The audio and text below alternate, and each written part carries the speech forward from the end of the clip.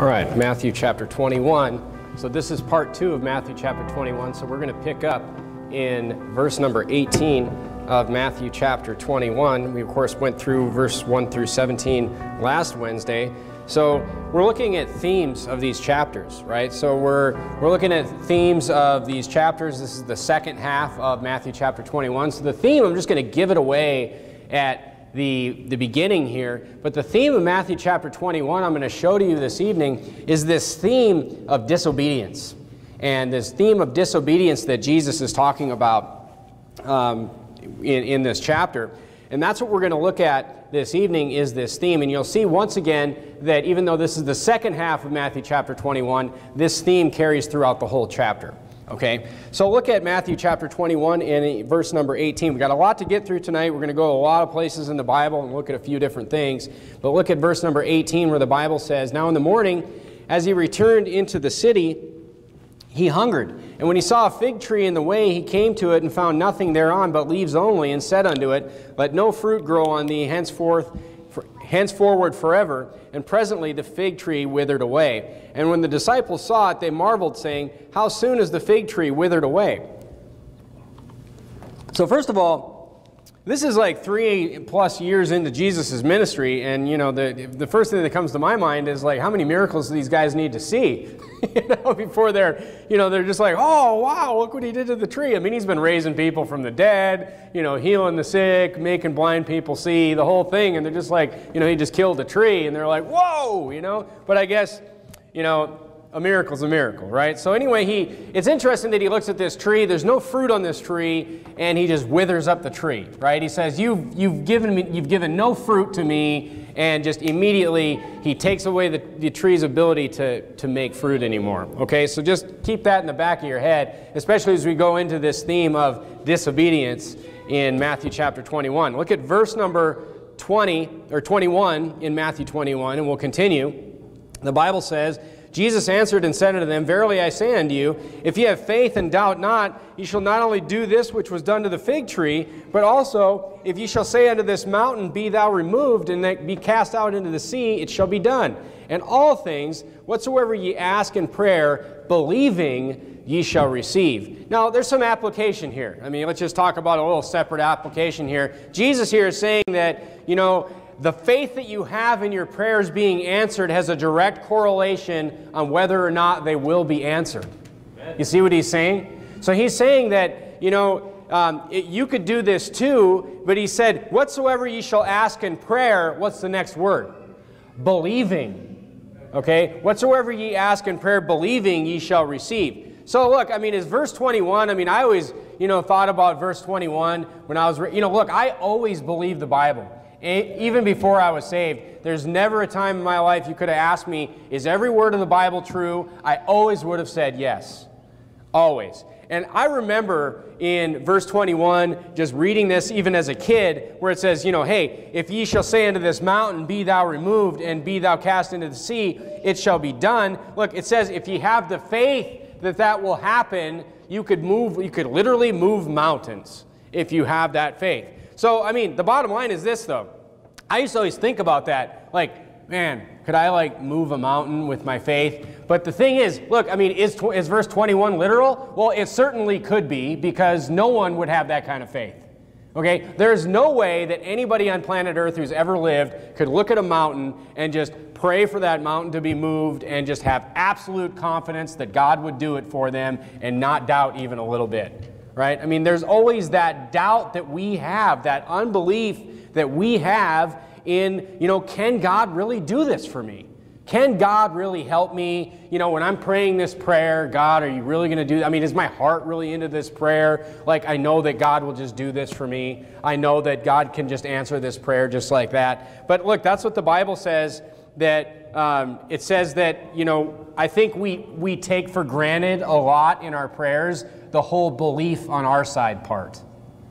That's one thing that I, I know that I do, and I think that a lot of people do. Just the faith that we need to have in God's ability to answer our prayers. Look, God can do whatever He wants, He can answer whatever prayer you have for God. Look, I mean, whether that's healing the sick, like we're talking about, whether it's fixing problems in your life, whether it's changing people's hearts that you want hearts to change.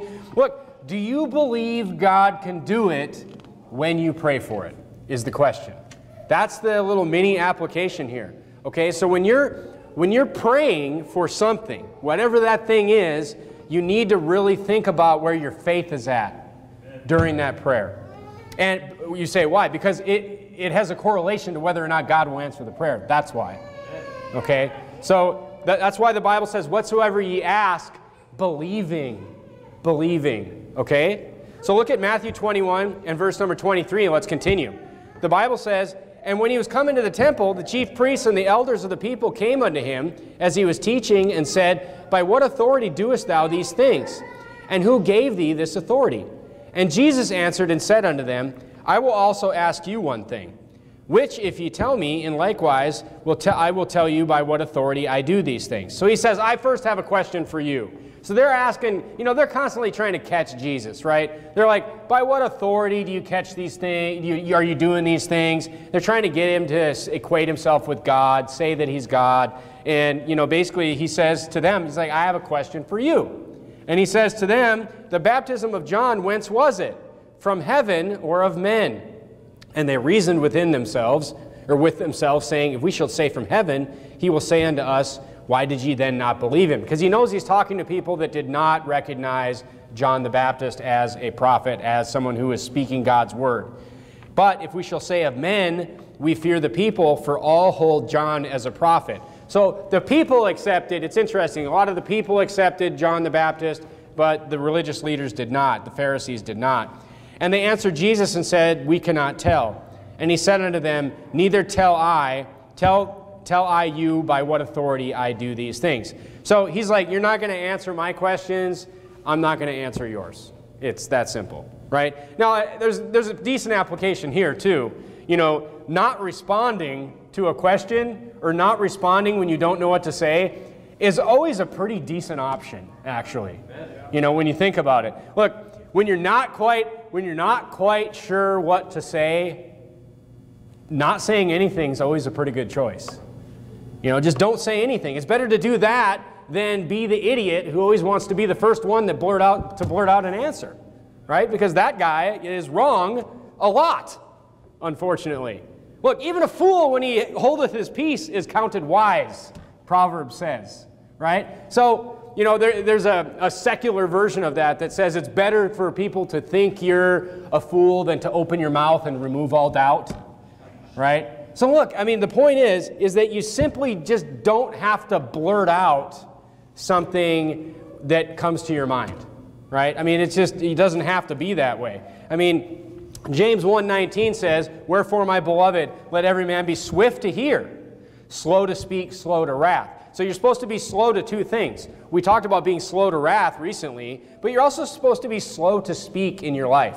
That means you should just put some thought into things before you say it and look, I use this all the time where it, I just used it today. I use this in my work life all the time. You're in some big meeting or whatever it is, you're in a big group of people, and people are talking about stuff, and you're just like, I, I, know, it's not that I don't know the answer to things sometimes, right? I mean, sometimes I know the answer to what people are talking about, but I'm like, okay, maybe this guy will not want to hear that, or this is going to make that go wrong. So in cases like that, I always just shut up. I always just don't say anything. And it typically works out pretty well. Okay? If you just don't speak, when you're not sure, don't speak. It's, it's that simple. Okay? The Bible says here in James 1:19 that the only thing that we're so supposed to be swift to do is to actually just listen. Is to hear, right? So we should always be swift to hear. So be swift to listen. And you know what? You can be you can be very very picky about when you decide to say something. And Jesus was that way, right? So Jesus in this case was just like, you know what? It, I mean, he did it in a clever way, which he always does things in a clever way, but basically he's just like, you know what? I know that there's no right answer right now. I mean, he knew what the right answer was, but he's like, I know that there's no way to not get trapped by these guys in this thing right now. I'm just not going to say anything. And that's what he did. And it was, it was good. Now let's look at verse number 28. Let's move on. That was just another aside, just another little application. Matthew 21, look at verse 28. Let's look at some um, this idea of obedience now and disobedience. And we'll start to see this theme pop up when Jesus starts giving some more parables. Look at verse 28 where it says, But what think ye? A certain man had two sons, and he came to the first and said, Son, go to work today in my vineyard. And he answered and said, I will not. But afterward he repented and went. So here's this kid. He's like, Hey, go to work in the field. And the kid's like, No. But then, like, you know, a few minutes or hours later, whatever, he actually just goes and he, he's obedient, right? But then look at verse 30. Then came he to the second and said likewise, and he answered and said, I go, sir, and went not. So this kid says to, you know, his, the father, he's like, yeah, okay, I'll go. No problem. And then he just doesn't go, right? He just doesn't go. And then the Bible says in 30, verse 31, whether of them twain did the will of his father. It says, which one did best for his father? And they said unto him, the first. Jesus saying unto them, Verily I say unto, unto you, that the publicans and the harlots go into the kingdom of God before you. So two sons. One says he won't go, but look, at least he was honest, right? At least he was honest and says, you know, I don't want to go. He's like, I don't want to go to the vineyard. He was disobedient, but he was honest, right? He was honest with a conscience, if you think about it that way. Because eventually, this first son, he gets it right, and he actually goes. The other son is just a liar, right? The other son is just a straight up liar. He's just a people pleaser, right? He just wants to, he wants to get the praise of saying to his father, Yeah, I'll go. I'm the good son. Everybody can hear him say it, you know, that he's being all obedient to his father, and then he just doesn't go, right? When nobody's looking, he just doesn't go. So he's just, he's out there. He wants the credit, he wants the glory, he wants the people to think that he's this righteous son, right? But he just, he's the most disobedient, and he's a liar. He's dishonest, right? But look, the father is never fooled. Okay? The Father is never fooled. So, look, Jesus must have been super irritated with the Pharisees, especially when you read this chapter. Okay? I mean, here are these Pharisees. I mean, this is who he's talking about. They're super spiritual. They have to wear all these garments with the borders enlarged. And they're out there and they're just these spirit. They're, they're doing everything to just be seen of men. Period. They talk the talk, yet they were complete frauds these guys. Now, the publicans and the harlots, on the other hand, you know, look, at least they believed him once he was there. Right? I mean, at least, you know, they, they came to the correct conclusion, even though they certainly didn't start out correctly. Right? Like that first son. They didn't start out with the right answer, but these Pharisees, they were disobedient to the end. Look at verse 32. And Jesus even explains it even further. He says, For John came unto you in the way of righteousness, and ye believed him not. But the publicans and the harlots believed him. So here he's saying, Look, the publicans and the harlots, he's explaining the parable, they believed John the Baptist. He's like, You believed him not. And then it gets even worse. He says, And when ye had seen it, seen what? When ye had seen all the publicans and the harlots accept John's words, and accept John as a prophet, what did you do? You repented not afterward.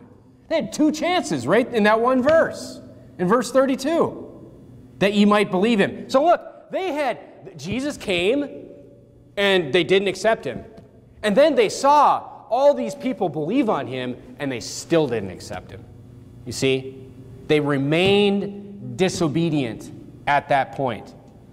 I mean, and I mean, we know from reading the Bible that this wasn't the only time. I mean, it was just time after time after time that they were just rejecting and rejecting and being disobedient, being disobedient towards Jesus, right?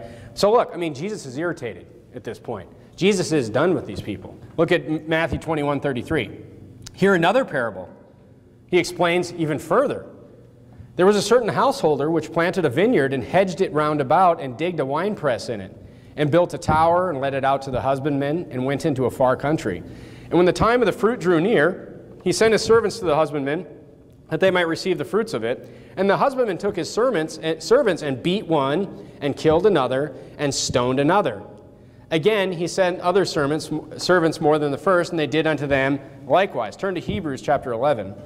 Hebrews chapter 11. So here's this guy. He, he, he rents out his, his uh, vineyard, goes into a far country, and he wants to go and get the profits from the thing, and he sends servants, and the people that are running the vineyard for him are just beating his servants as they come to collect what is his. It's that simple. It's, I mean, he was going to get his own property.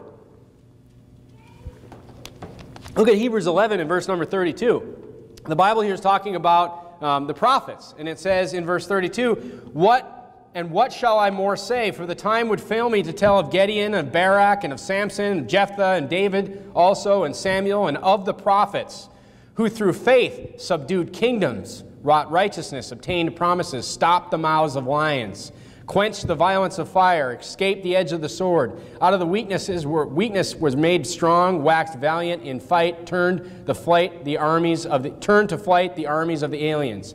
Women received their dead raised to life again, and others were tortured, not accepting deliverance, that they might obtain a better resurrection. And others had trial of cruel mockings and scourgings, yea, moreover, of bonds and imprisonment. Sounds kind of like these servants that went back to the, you know, to, to the vineyard to collect for their, their master. They were stoned, they were sawn asunder, they were tempted, they were slain with the sword. They wandered about in sheepskins and goatskins, being destitute, afflicted, tormented, of whom the world was not worthy. They wandered in deserts and in mountains and in dens and caves of the earth. Look, these were the early servants right here. These were the servants that Jesus is talking about in this parable that went back to the vineyard that were beaten and tortured and stoned and all these things. And then the, the guy in the parable says, All right, I'm going to send my son now. He's like, I'm not going to send my servants anymore. So all these, pro, you know, he's, he's, he's picturing the prophets here that we're reading about in Hebrews chapter 11. Now look at verse number 37 of Matthew 21. But last of all, he sent unto them his son, saying, They will reverence my son. But when the husband saw the, husbandmen saw the son, they said amongst themselves, This is the heir. Come, let us kill him, and let us seize on his inheritance. So, look, this right here shows you really one of the main reasons why the Pharisees were trying to kill Jesus. Right here. It's because they wanted to seize on his inheritance. Look, they were jealous of him. The, the spiritual kingdom at that time, they're like, hey, that's our kingdom. That's, you know, we're the spiritual ones here. You know, we're the leaders of this religion here. Whatever they had turned, you know, the religion of the Bible into, they're like, we're the leaders of this here, and this guy's coming in and he's claiming this spiritual inheritance. Look, it was his inheritance. And he was taking it from people who had stolen it, basically. Right. All right? So, look, they were jealous of him. They wanted the spiritual kingdom to be theirs. Look at verse 39. And they caught him and they cast him out of the vineyard and slew him. Turn to Romans chapter 3. Then Jesus says, When the Lord therefore of the vineyard cometh, what will he do unto those husbandmen? So this is kind of like one of those simplified, broken down stories that he asks, you know, that he tells, and kind of like Nathan talking about, you know, the sheep to David, just really makes him just realize what's really happening, open your eyes a little bit. But look at Romans chapter 3 in verse number 2. So look, what will he do unto the husbandmen? Now, who are these husbandmen that he's talking about? The husbandmen are, are the Jews. I mean, he's not really just talking about the Pharisees here. He's talking about who was, you know, the kingdom given to. Who was the vineyard given to here? I mean, it was the Jews. They were, they were the chosen people. So look, look at Romans chapter 3 in verse number 1, where the Bible says, What advantage then hath the Jew? Or what profit is there of circumcision?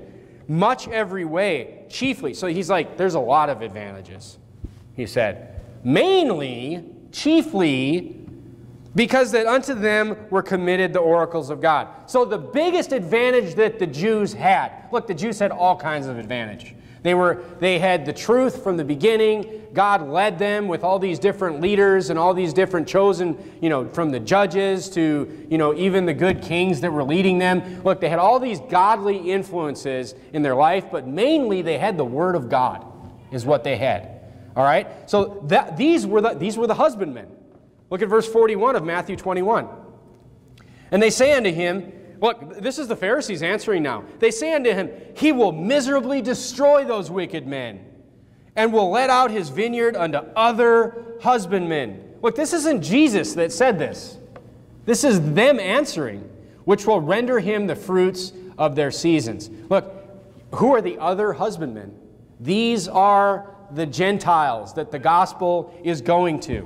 Okay? Go to, um, we're going to skip ahead and go to verse 43 real quickly, just because there's a, I want to finish this theme, and then we're going to go back to the main theme. So look at verse 43, and Jesus says, Therefore I say unto you, the kingdom of God shall be taken from you. So he tells him, he's like, look, they're like, he's, like, he's going to destroy those wicked men and he's going to give it. I mean, he would obviously give his vineyard to somebody who would not do all those nasty, horrible things, right? And then he says, Thou art the man, just like Nathan said to David, right? The nation, he's like, The nation will be taken from you, he said. The kingdom of God shall be taken from you and given to a nation bringing forth the fruits thereof. You see the fig tree now? You see how he goes to the fig tree and the fig tree? You see how this all fits together into disobedience? When he goes to the fig tree and he's like, I want fruit from you, tree. Nothing done. Just like that. And the disciples were like, man, that happened fast. Well, it just happened to the Jews right here. It just happened to them right here. So we started with the actual picture of the fig tree, and Jesus just took it away from them right here. Okay? Now, look, I mean, turn to Romans chapter 9. Romans chapter 9 and look at verse number 25. I mean, look, this isn't a, this isn't a, a hidden theme in the Bible. It, it's, it's huge all over the place. In Roman, and so I'm not going to, I know that we already know this, so I'm not going to go too deep into this. Let me just show you in Romans chapter 9, verse 25. I know we've already studied this, but it says, As he said also in Osee, that's Hosea, I will call them my people, which were not my people, the Gentiles, and her beloved, which was not beloved. And it shall come to pass that in the place where it was said unto them, Ye are not my people, there they should be called the children of the living God. So we're talking about the kingdom being removed from the unbelieving Jews and being, you know, I mean, look, there's a remnant. There's a remnant. I mean, there's a remnant. Some Jews believed. I mean, it's in the Bible all over the place. Some Jews believed, but the majority of the mainstream Jewish leaders, religion did not accept Jesus, and it was taken from them and it was given to the Gentiles. And there's, look, there's a, any Jew that believes is going to be saved just like anybody else.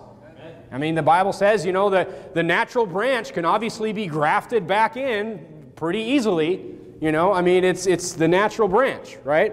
Now, go back to, so that's the theme that Jesus is getting at in those two parables. But go back to verse number 42 now verse number 42. Because it gets worse. I mean, Jesus really gets, he really turns it up now. Look at verse 42. And Jesus said unto them, Did ye not ever read in the scriptures, The stone which the builders rejected, the same has become the head of the corner. This is the Lord's doing, and it is marvelous in our eyes. He's, of course, quoting Isaiah 53 here, where he says, You know, the same, the stone which the builders rejected, the same is become the head of the corner. This is the Lord's doing, and it's marvelous in our eyes. So I want to look at this idea. Turn to Psalm 118 of this stone. And I know a lot of you, you know, have seen, you know, Jesus as the cornerstone and all this. So we're going to look at that first. But there's actually two types of stones here, or two uses for the stone in this chapter that we're going to look at. Okay? Now the stone, look at verse Psalm 118. Psalm 118, look at verse 22. Psalm 118, verse number 22, where the Bible says, The stone which the builders refused has become the headstone of the corner. Very similar to uh, verse number 42. Turn to Acts chapter 4. We're going to look at a bunch of verses on this because I want to just really get it, you know, driven in that, you know, Jesus is this stone. Jesus is this headstone of the corner or cornerstone. Look at Acts 4 and verse 11. Acts 4 and verse 11. The Bible says, this is the stone which was set at naught of you builders, which has become the head of the corner. So there's this stone, it was rejected, and it became the head of the corner. All right, look at Ephesians 2. Ephesians chapter 2 and verse number 20. And the Bible says in Ephesians 2:20, and are built upon the foundations of the apostles and prophets, Jesus Christ himself being the chief cornerstone in whom all the building fitly framed together groweth unto an holy temple in the Lord, in whom ye are also builded together for an habitation of God through the Spirit. So here's Jesus, once again, this chief cornerstone that the entire building, of course, you know, turn to Isaiah 28. The entire building, of course, is built around the cornerstone. I mean, this cornerstones today are more symbolic and like decorative, but at cornerstones actually had a purpose back in building before there was all these different tools and measurement devices. I mean, basically, you had a cornerstone and you had a you built a foundation, you set a cornerstone, and every other stone for that building was built off of that cornerstone in reference to that stone. So every stone was lined up as with that cornerstone as a reference point. Okay? So if you see, you know, I mean, it, it, it, determined everything about the building. It determined which way the building was facing. It determined how straight all the walls were. It determined the orientation exactly of the building. The cornerstone was everything. All right, look at Isaiah 28 and verse 16. Look at Isaiah 28, 16. The Bible says, Therefore, thus saith the Lord God, Behold, I lay in Zion for a foundation a stone, a tried stone, a precious cornerstone, a sure foundation. He that believeth shall not make haste. So here we see that once again, the gospel is in Isaiah 28, right? He that believeth. I mean, so the gospel was always in the Old Testament. They understood it just like we understand it today. Go back to Matthew 21 and verse 43.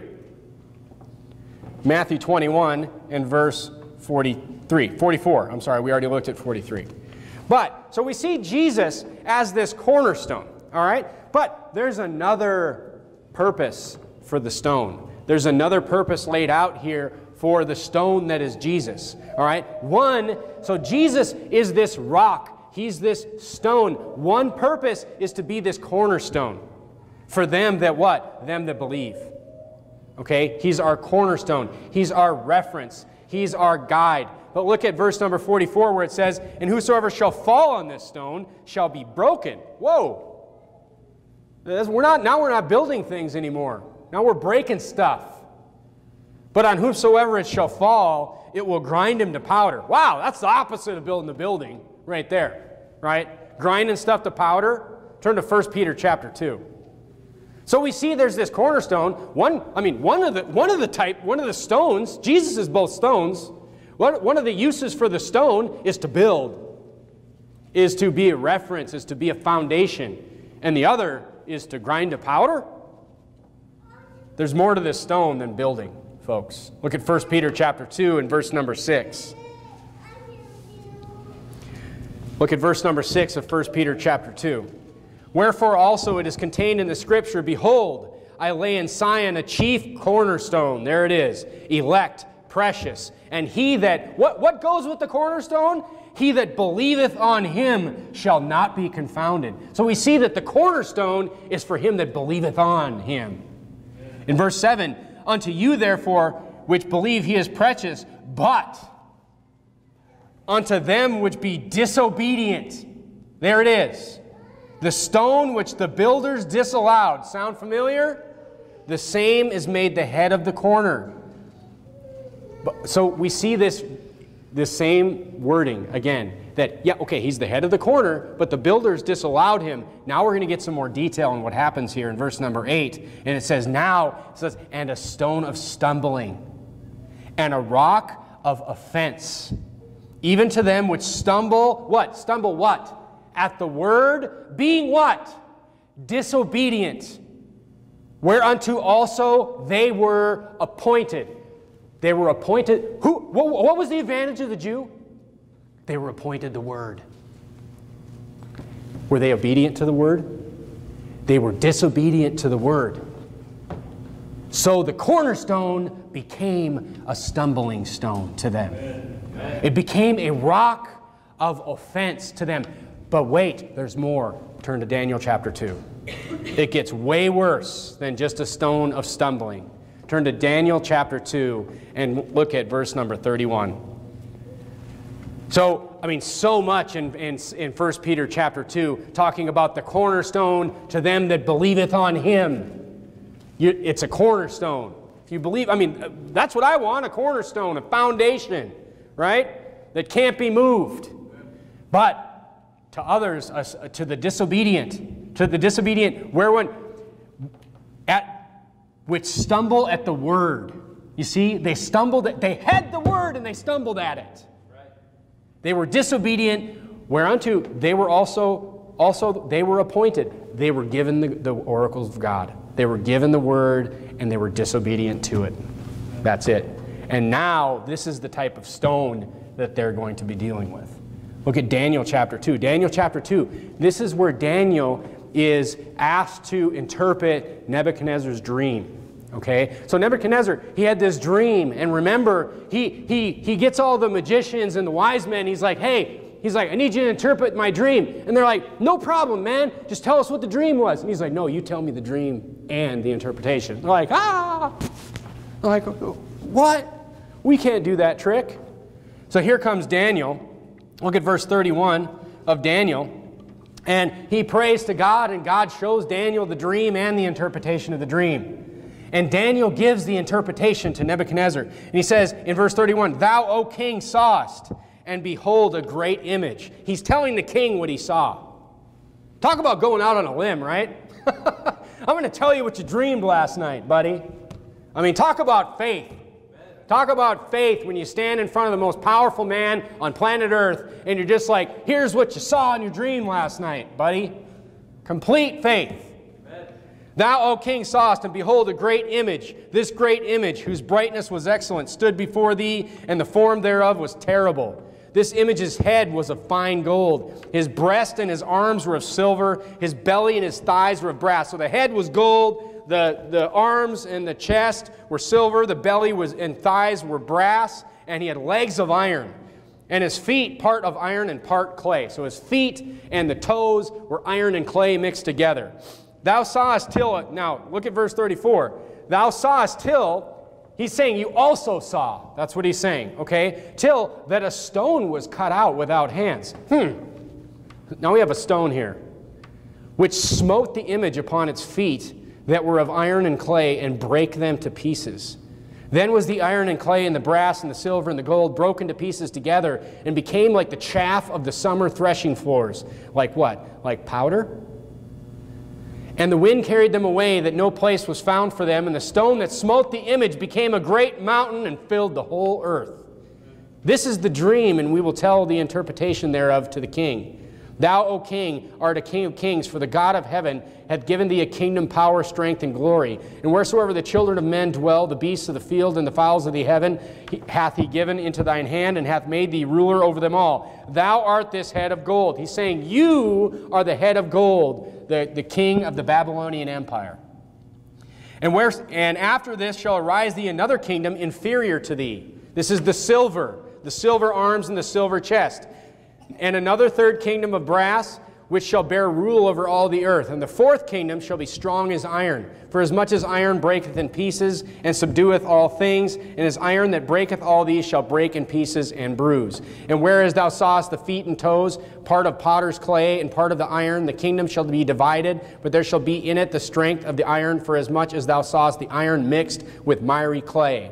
And as the toes of the feet were part of iron and part clay, so the kingdom shall be partly strong and partly broken. And whereas thou saw iron mixed with miry clay, they shall mingle themselves with the seed of men, but they shall not cleave one to another, even as iron is not mixed with clay. In the days of these kings shall the God of heaven set up a kingdom which shall never be destroyed. And the kingdom shall not be left to other people, but it shall break in pieces and consume all these kingdoms, and it shall stand forever. For as much as thou sawest that the stone was cut out of the mountains without hands, and that it brake in pieces the iron, the brass, the clay, the silver, and the gold, the great God hath made known to the king what shall come to pass hereafter, and the dream is certain, and the interpretation thereof is sure. And there, you know, Nebuchadnezzar's like, ah. It's like, what?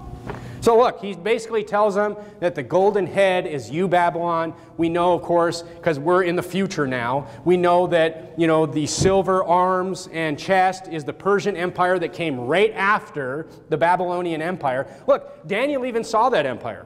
So Daniel saw two of these empires. The brass was the Grecian Empire of Alexander the Great. These are empires that basically ruled the entire world at one time. Iron legs, this was the Roman Empire, the Iron Empire. And the toes is this empire of the future that will exist when Jesus comes to bring in the millennial reign. But the bottom line is this. All, and look at verse 34 and in verse 45, all of these empires in the entire history of the world are just crushed to pieces by the stone. They are crushed to pieces. Verse 44 And then the God of heaven will set up a kingdom which will never be destroyed. That's God's kingdom. So look, Jesus is the rock of salvation, He is the cornerstone for all those who believe. But those who do not, he is this immovable stumbling stone and a rock that break in pieces all that are in disobedience. It's that simple. Right. So he is a rock, but he's either a cornerstone or he's going to smash you to powder. It's, it's really, that's the only two choices. Okay, all without belief will be smashed to pieces by this rock. Amen. Look at verse 45 of Matthew chapter 21.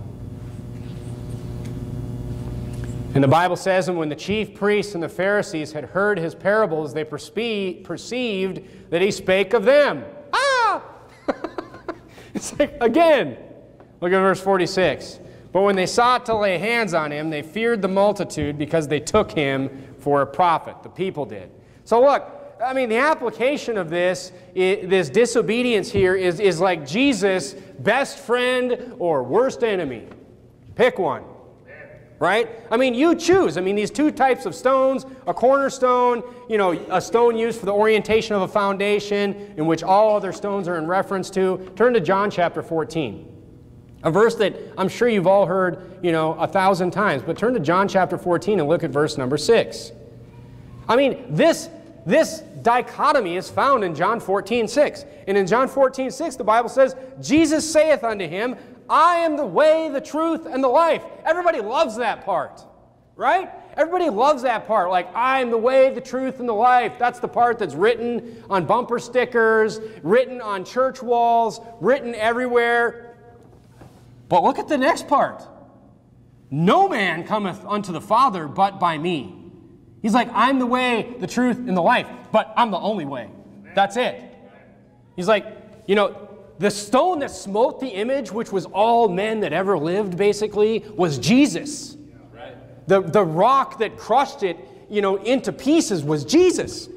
And it says in verse 44, And whosoever shall fall on this stone shall be broken, but on whomsoever it shall fall, it'll grind him to powder. That's Jesus. You know, that I mean, that that's the other choice.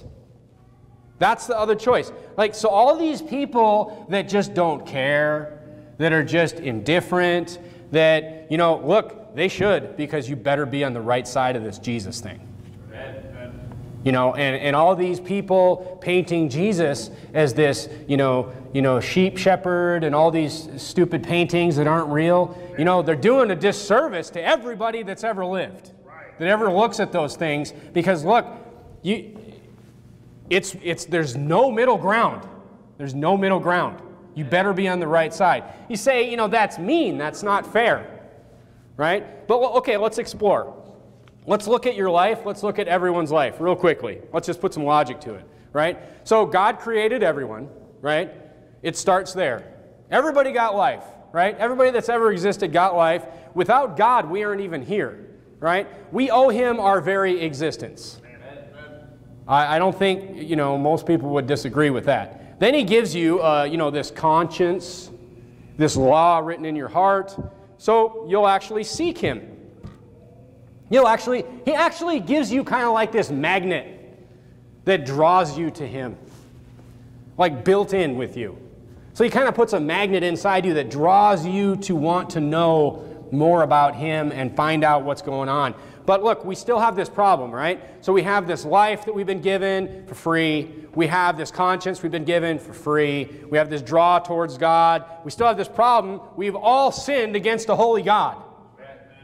I mean, that's a problem. It's the problem, right? So he goes further, right? He goes further.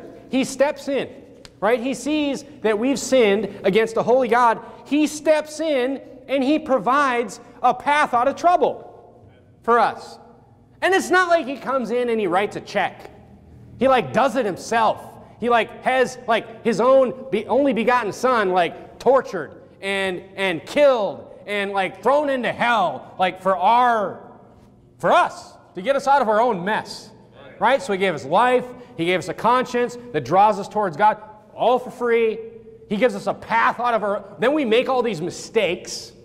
Then he gives us a path out of those mistakes through his own pain and suffering. And we we reject and, and, and you're going to reject that? You're going to reject that.